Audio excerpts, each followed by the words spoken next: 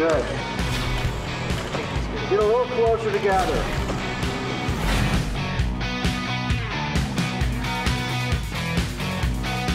Freaking loved it. I've been waiting for this movie forever. Still has that love story aspect to it, which I thoroughly enjoyed. I was involved in the casting for the guys, which was good. It's important that we all had chemistry and worked well together.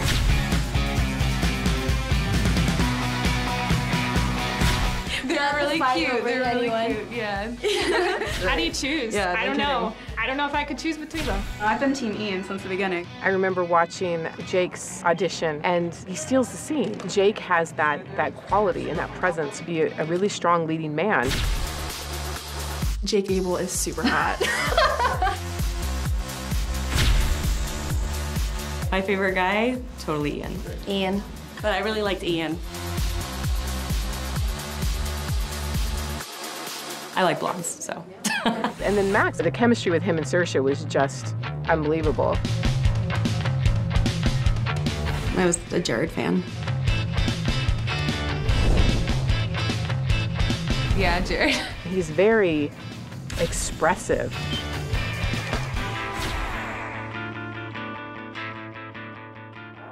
The chemistry certainly was there with Saoirse. There's something about her. Let her, like, kiss him. I'm definitely a Jared fan. Yeah, we like Jared. Definitely. Jared's our favorite. Boy, he's scary. He has this intensity about him.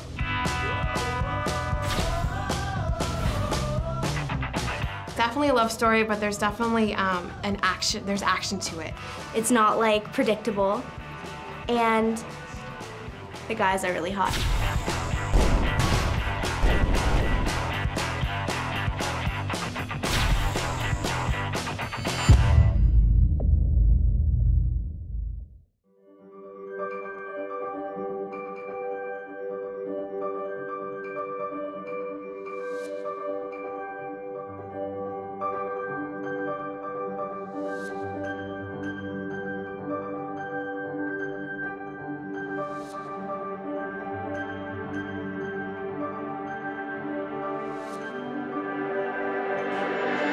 Bye.